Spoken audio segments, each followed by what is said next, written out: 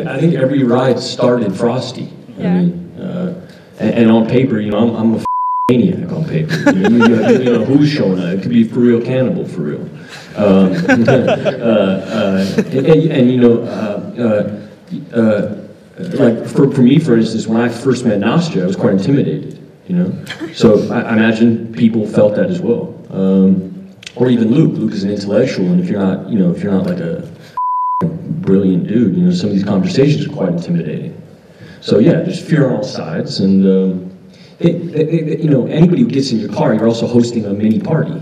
You don't want anybody to have a shitty party. You know, Yeah. you don't want to be the host of a shitty party, and especially you know, you know, when you get like three weeks into it, and everybody's been partying for three weeks, you don't want to be a person who hosts a shitty party after three weeks of cool party. So yeah, there's all that kind of fear and pressure on everyone, and music really helps. Music is a great leveler.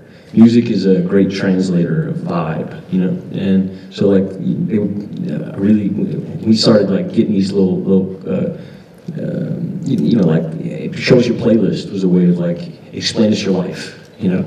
And so after four or five songs, you kind of you get a feel for hello, you get a feel for uh, you get a feel for for people pretty quick based on music.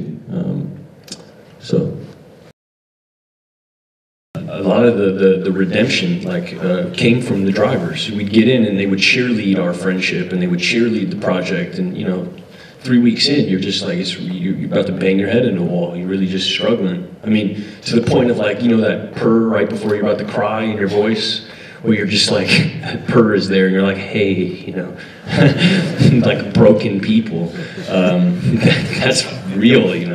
Uh, so so uh, we got a lot of like love from from the drivers. There'd be times where like I couldn't talk, you know, or or Luke couldn't talk, or Nastja didn't want to talk, and you know that, that person would take the time uh, throughout the trip or the course where and, and sort of meet us on, on, on an individual level. You know, you build a friendship, and these people carry you. You know, that's what that's what I felt.